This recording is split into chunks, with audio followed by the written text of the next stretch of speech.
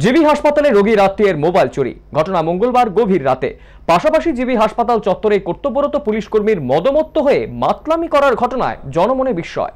একাংশ আরক্ষা কর্মীর এ ধরনের আচরণে জিবি হাসপাতালের নিরাপত্তা ব্যবস্থা নিয়ে কার্যত প্রশ্ন উঠছে। প্রশ্নচিহ্নের মুখে জিবি হাসপাতালের নিরাপত্তা ব্যবস্থা। এই নিরাপত্তাহীন অবস্থায় জিবি হাসপাতালে চিকিৎসাধীন এক রোগিনীর আত্মীয়ের মোবাইল চুরির ঘটনায় অন্যান্য সাধারণের মধ্যে নানা সংশয় সৃষ্টি হয়েছে। প্যাচারথলের বাসিন্দা জনৈকা রোগিনীর ছেলে রাতে জিবি চত্বরেই ঘুমিয়েছিলেন।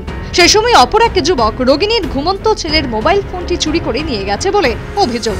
সেই অভিযোগ জানালেন রোগিনীর ছেলে। প্রতিদিন আমার লগে ট্রায়াল দিতেছে দেখতেছে লক্ষ্য করতেছে কালকে আমার বালিশের সাইডে মোবাইলটা আসলো। সকালে উঠে মোবাইলটা যখন পাইছি না তখন আমার দুই তিনজন লোকরে যখন জিজ্ঞাসা আমার মোবাইলটা চুরি হয়েছে তখন পাশের পেশেন্ট যারা আসলো রুগী পেশেন্টের লগে যারা ঘুমাইছিল আর কি তারা আমার কইছে যে হে আইয়া মোবাইলটা নিছে। দুই তিনবার আমার বালিশের সাইডে ঘোরাফেরা করছে। বালিশের সাইডে হে ঘোরাফেরা করছে। তোমার কি রুগী আছে? হ্যাঁ আমার রুগী আছে। বাড়ি কোন জায়গাতে? বাড়ি পেশাতে কিসের রুগী?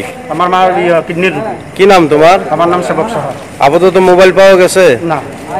থানায় এন্ট্রি করাইছিলা? না না গেছি এখানে থানাও জানি না কোনো এন্ট্রি করাইতাম।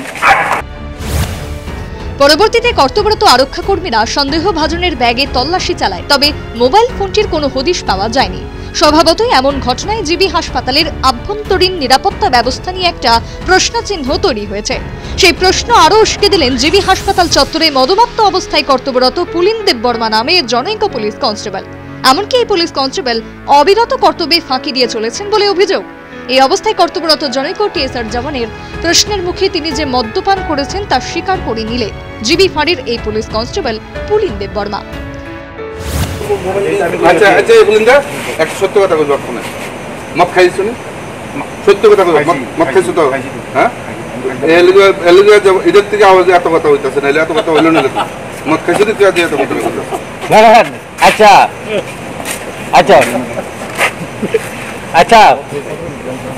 ডিউটি ডিউটি অবস্থা তোমরা মদ খাই ধরো তখন কোনো দোষ নাই। আর অন্যরা মদ খেলে এটার দোষ। হ্যাঁ?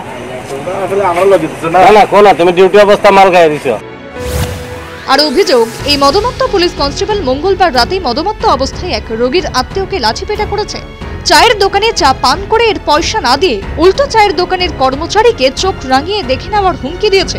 এক্ষেত্রে তাকে বাধা দিতে এলে কর্তব্যরত জনৈক টিএসআর জওয়ানকেও জিবির ফাঁড়ির কনস্টেবল পুলিন দেববর্মা গালাগাল করে।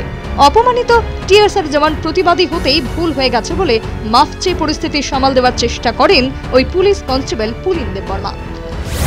ব্যবহারটা করছেন না? একদম রাত ব্যবহার করছেন এটা বললাম তো। চুপটা পছন্দ হয়েছে না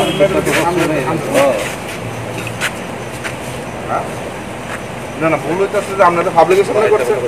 না না করে কি ঝগড়া না হইলে তো আমরা পাবলিকের সামনে যে আপনি মনে করেন না যে রেগুড়ি তোমার তোমার নেম প্লেট খুললে ফিরে যাওয়া তুমি নিজে কই তারো না ও না।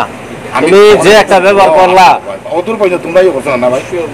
আপনি- মনে করেন না আপনি যে কথাটা কইছে এর কথাটা রেকর্ডিং হইছে না সব লোক সহ হইছে এটা মনে কেন? তোমরা বেড়া খেয়ে ডিউটি করো। আমরা দেখেছি জিবি হাসপাতাল চত্বরে উপস্থিত অন্যান্য সাধারণ খাঁকি পোশাক পরা মদমত্ত ওই পুলিশ কনস্টেবলের মাতলামি দেখে বিস্মিত। যারা নিরাপত্তার কাজে নিয়োজিত, তারাই যদি মদমত্ত অবস্থায় এই ধরনের আচরণ করেন, তবে জিবি হাসপাতালের নিরাপত্তা ব্যবস্থা সামলাবে কে? একাংশ কাণ্ডজ্ঞানহীন আরক্ষা কর্মীর এই ধরনের আচরণের কারণে জিবি হাসপাতাল চত্বরে নেশাখোর, চোর ছ্যাঁচড়া ছিনতাইবাজরা আশ্রয় প্রশ্রয় পাচ্ছে বলে সাধারণ মানুষের অভিযোগ। জিবি ফাঁড়ির ঊর্ধ্বতন কর্তৃপক্ষের সেদিকে তীক্ষ্ণ নজর দেওয়া বাঞ্ছনীয় বলেও তথ্যবিজ্ঞ মহল মনে করছেন। Bureau report, news vanguard.